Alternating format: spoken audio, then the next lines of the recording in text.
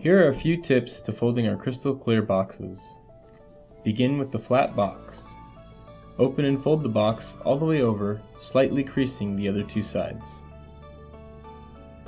Reopen the box, squaring it off. Lightly fold the tabs in, leaving them angled up.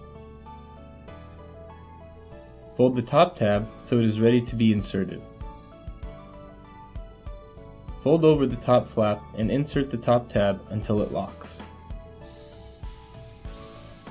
If this leaves you with a slight bow on the top flap, use our light pinching technique to square it off. Lightly pinch the back crease of the top flap.